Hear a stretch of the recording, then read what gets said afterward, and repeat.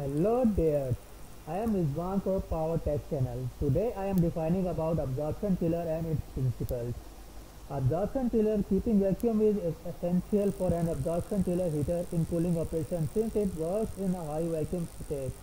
Principle of chill water generation and absorption chiller heater is called water generating device that uses water as refrigerant and lithium bromide as absorption.